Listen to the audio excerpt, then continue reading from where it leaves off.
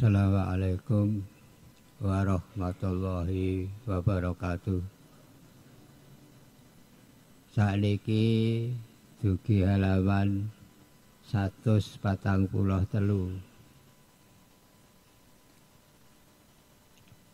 Bunyi hadis Bismillahirrahmanirrahim. Afdolun nasi mu'minun yujahidu fi sabilillahi binafsihi wa malihi. Summa mu'minun fi sa'bi minasi abi yattaqillaha wa yada'un nasa men sarihi maknane afdolun nasi luweh utama utamane manusa mukminun imane. Yujahidu fi sabilillahi ya kuwi wong sing gelem berjuang perang belane agamane Allah. Binafsihi kelawan awake wa malihi lan dunyane Suma mukminun sing nomor loro yaiku wong mukmin fi sa'bi minasi abi kang delik ning gone gubitane gunung. Ya takilaha krana wedi Allah. Wa ya ta'una salan ninggalno manusa men sarihi sangka eleke manusa. Niku makna ijen-ijen kesimpulane wong sing nomor siji imane yaiku Kanjeng Nabi Muhammad sallallahu alaihi wasallam. Ya ora Kanjeng Nabi tok wong sing gelem berjuang belani agama Allah. Ya awake ya dunyane lan atine. Para jamaah ngaji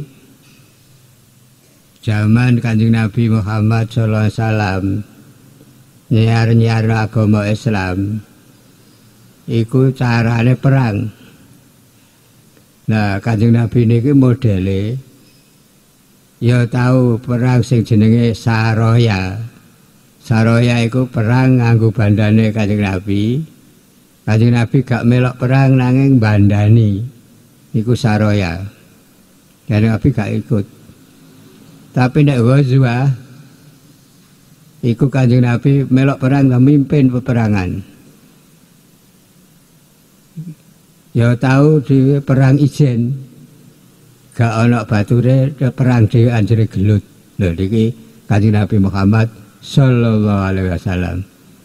Ya tahu perang ora melu mau kirim tentara, tau dipimpin dhewe, tau perang dhewean ijen gelut karo wong sing jenenge jenenge Rukana. Rukana niku pimpinane wong Quraisy. Jagoan gelut. Gak ana sing ngalahno. Akhire gedenan kemunjukan golek Kanjeng Nabi. Petuk teng dalan. Kanjeng Nabi ditantang Muhammad, kowe apa wani gelut sampe aku? Kanjeng Nabi mat jauh, ah ora usah gelut wong kok gelut ora apik. Ngene lho, Mat. Nek aku kalah karo kowe aku mlebu agamamu. Tapi nek kowe kalah karo aku ya kowe mlebu agamaku. Ala coba nek ngono gelut ya gelut. Ah, niku akhire gelut. Ya ora ngalahno Kanjeng Nabi to.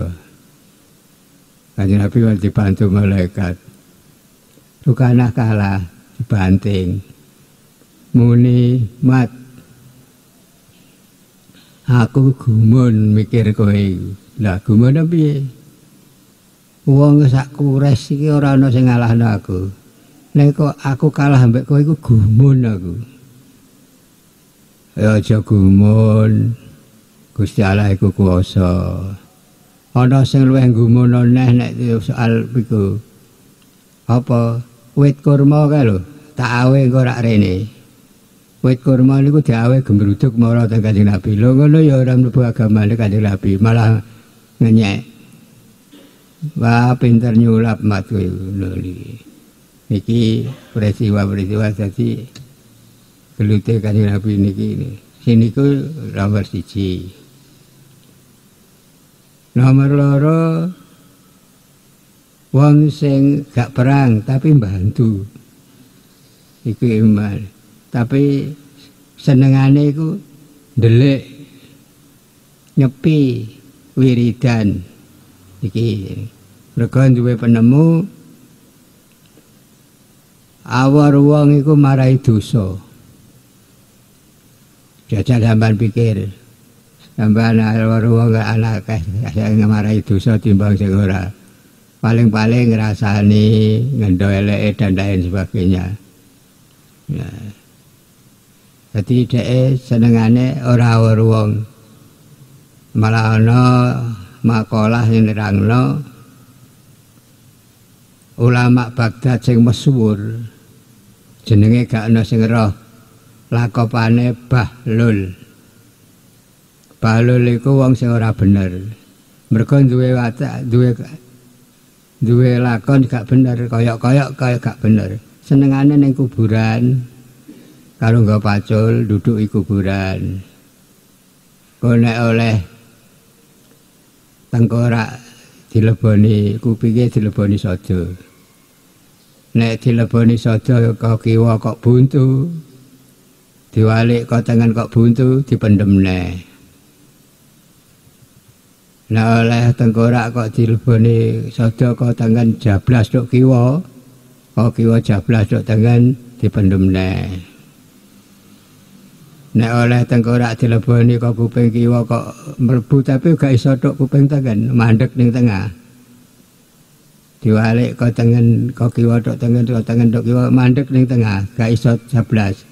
Didusi, diumbah, dilengani wangi, didewekno.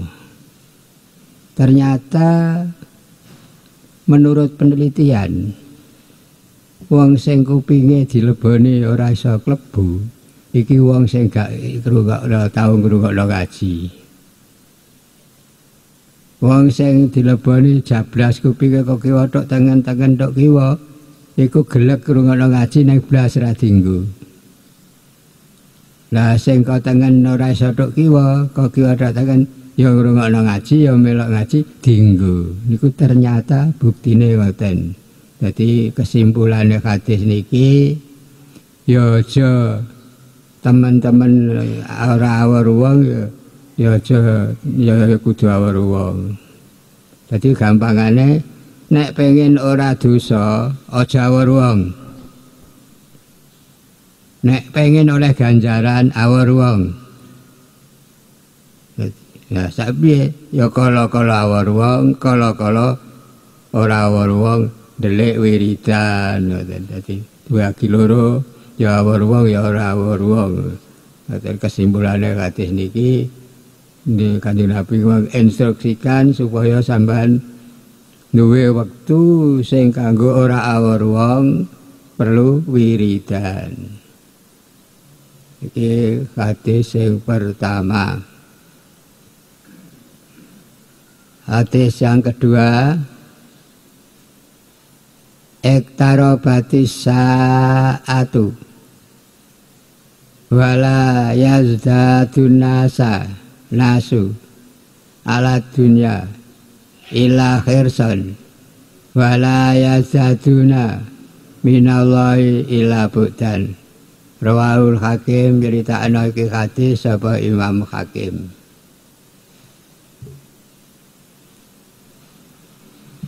Ektaro bati saatu wis perek apa dina kiamat.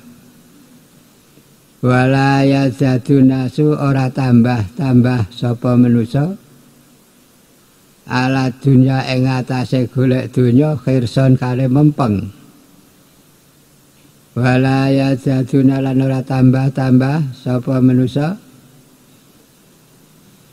minallahi sangka Allah ila budan angin adoh maknane ijen-ijen niku ngoten.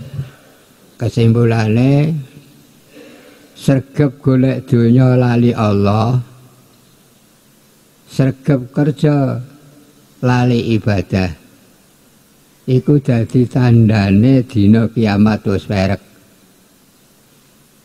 sregep donya golek donya lali Allah.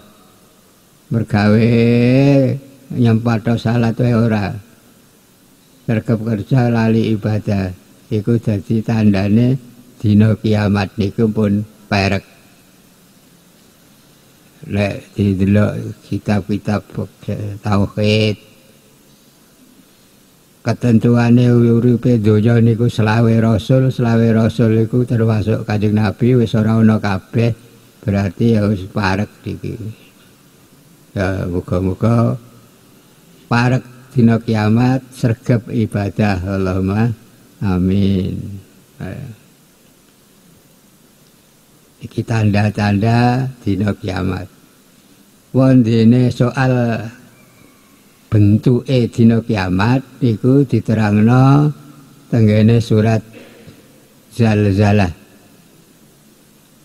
Idza zul niku lho. Idza zul niku nek dimaknani Idza zulzilatil ardu zilzalaha. Nalikane gonjang-ganjing apa bumi zilzalaha kelan gonjangan sing tenanan.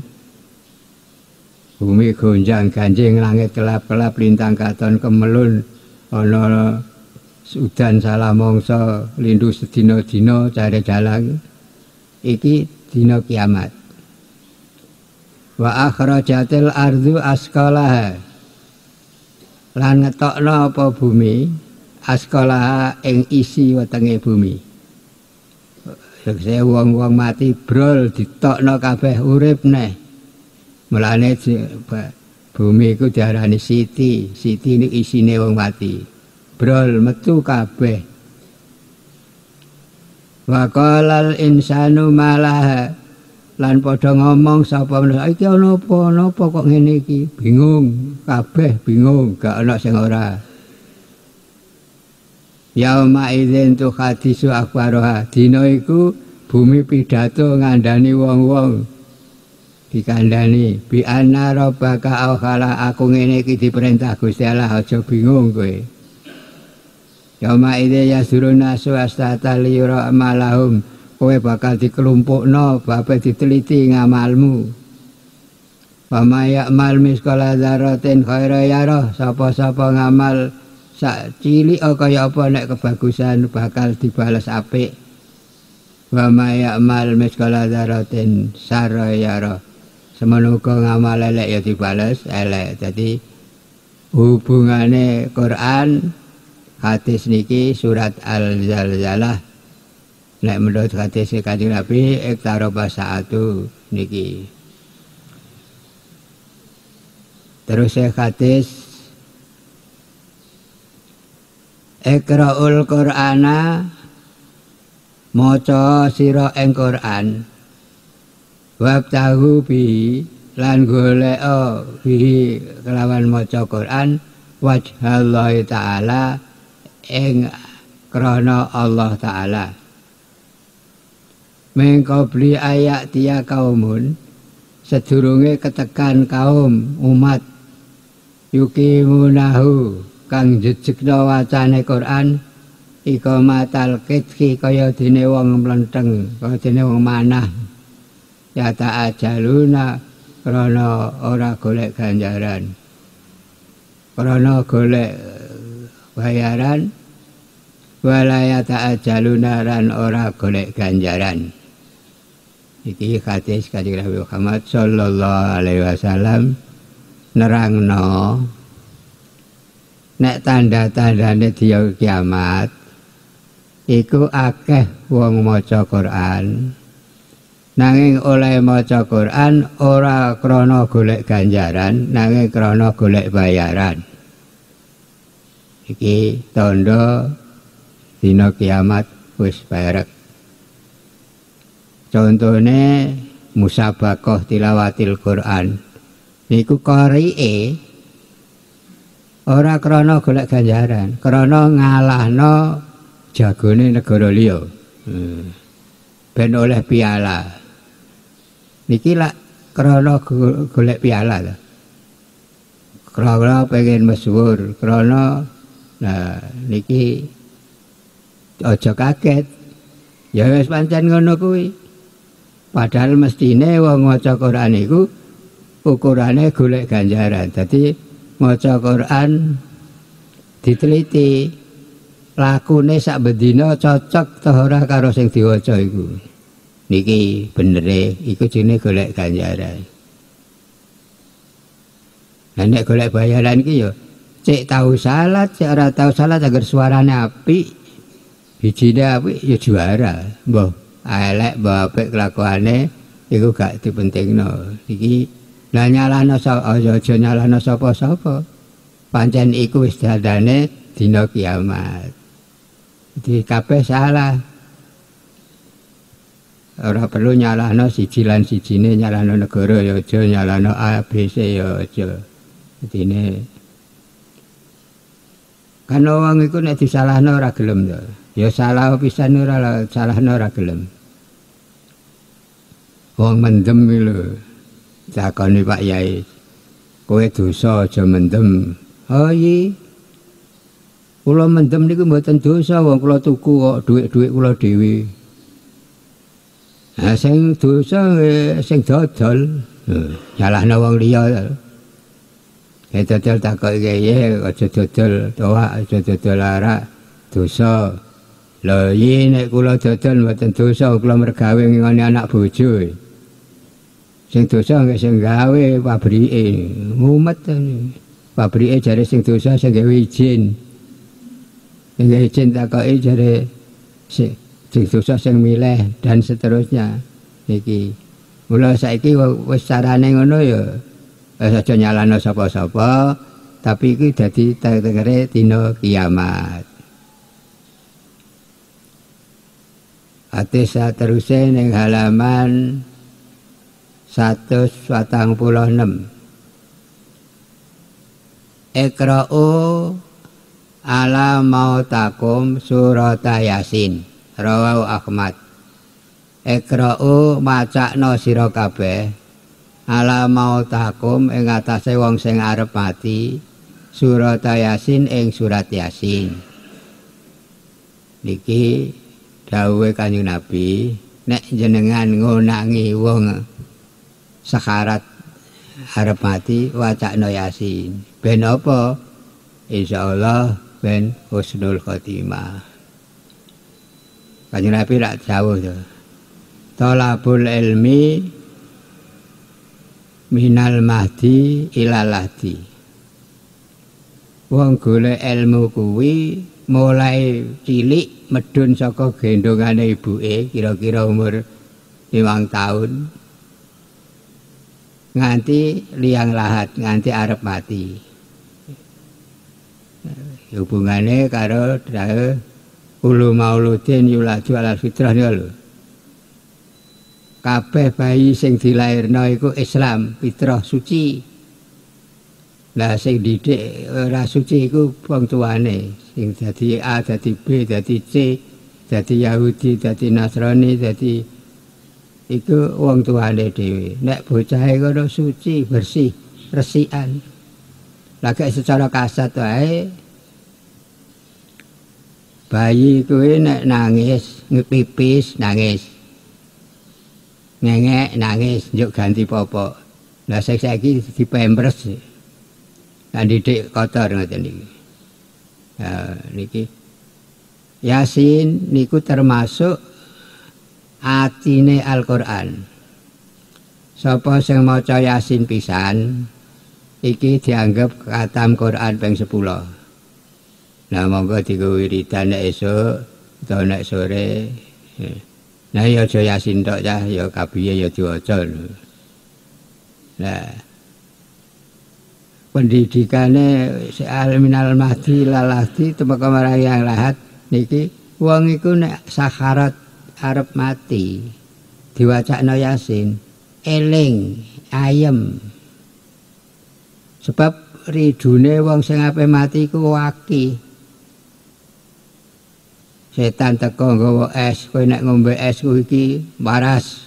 Tuh coba. Lah nek diwacana yasin ra ora kelu ning gone godane setan iku. Niki keterangane kaya ngoten niku. Hati sak teruse akaluma yujadu fi akhiri zamani dirhamun halalun au yusaku bihi. Au ahon yusaku bihi. Rawau benu asakir ani beni umar akaluma sidik-sidik edunya yujadu kang ana fi akhire zamani ing akhire zaman sing per kiamat kaya saiki iki dirhamun halalun iku donya sing halal. Aw ahon utawa kanca yusaku kang kena dipercaya bi sapa kanca iku rawau bin asakir ditakno hadis ibnu asakir maknane Zaman wis akhir. Niki akeh-akeh wong golek donya halal niku oleh donya halal niku sithik. Mula hati-hati, ngoten lho gampangane niki. Golek utawa nomor loro kanca sing kental. Kanca sing seagama sing cocok ya sithik. Dadi hati-hati awur wong. Aja ngawur wae niki hadis Kanjeng Nabi Muhammad sallallahu alaihi wasallam. Nek tenggene kitab Subat duka kitab Alfiyah niku nate enten syair sing ngene tagharab anil autani fi talabil ula. Fasafir fafil asfari khamsun fawaidi.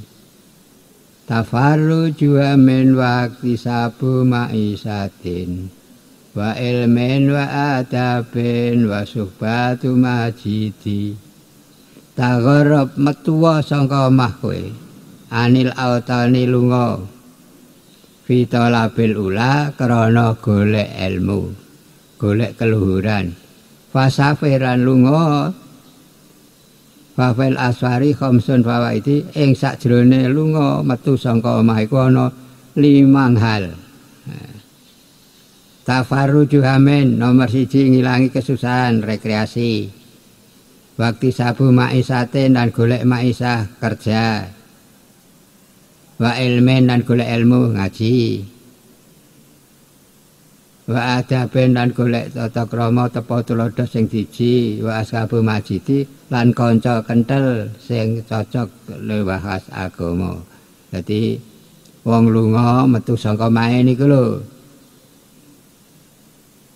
Iki ana limang macem. Ana kranane ngilangi kesusahan ana kalane kerja ana kalane golek ilmu ana kalane contoh ning akhlak lan golek kanca.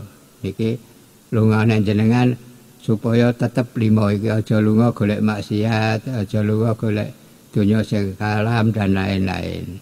Iki hadis yang ke lima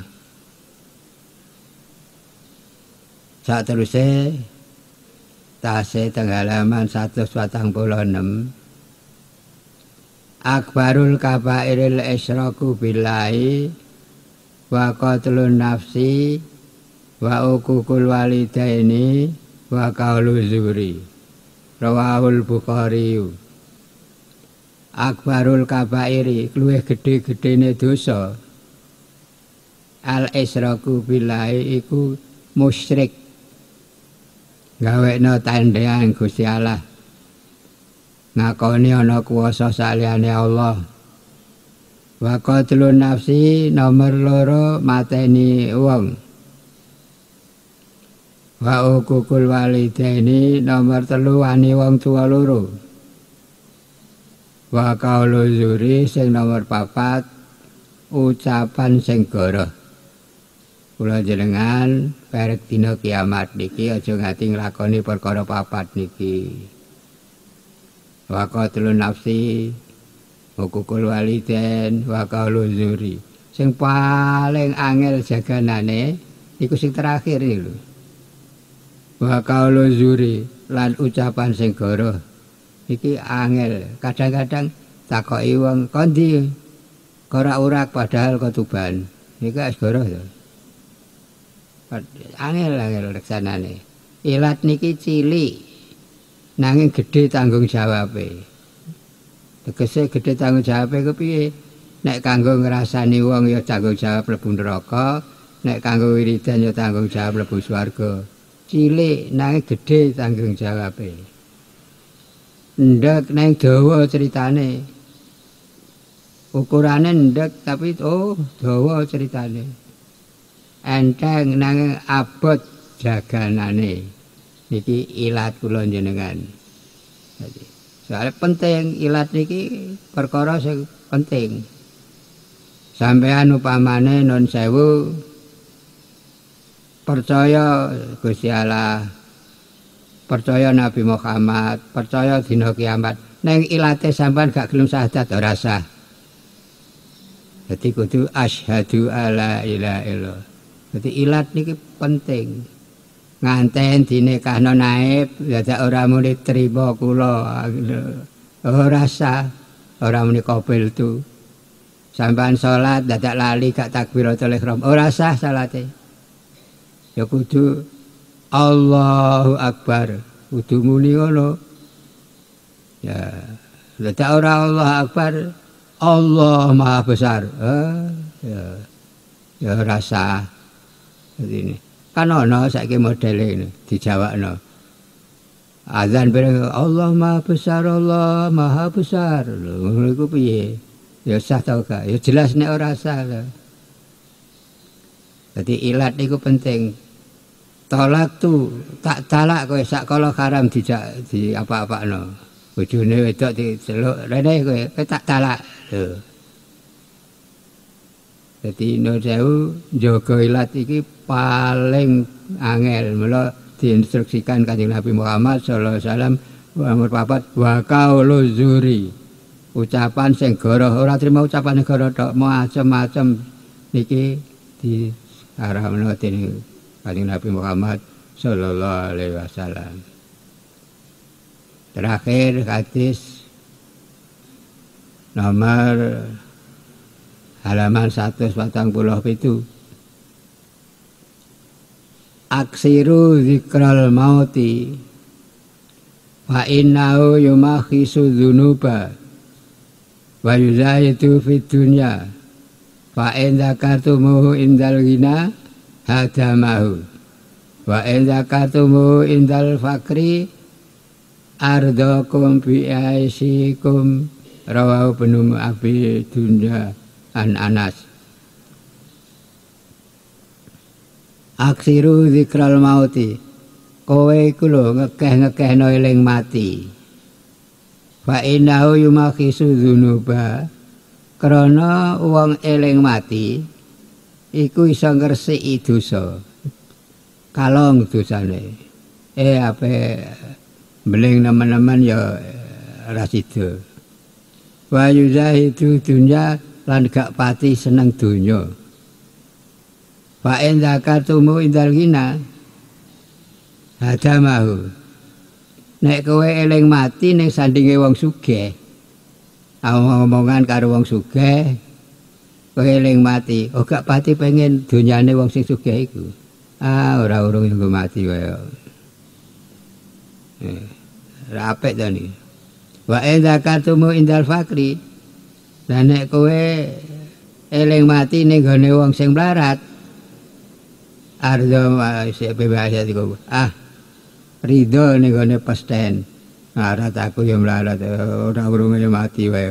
Niki hadis niki kesimpulane supaya kula jenengan ngadepi dina akhir sangka kiamat wis pare kiamat iku kudu siji sergap ibadah loro sergap berjuang telu sergap silaturahmi silaturahmi jamaah subuh jamaah zuhur jamaah asar dan seterusnya. Pun semanten mawon muga-muga sisa nglakoni. Rabbana atina fid dunya hasanah wa fil akhirati hasanah wa qina adzabannar. Assalamualaikum warahmatullahi wabarakatuh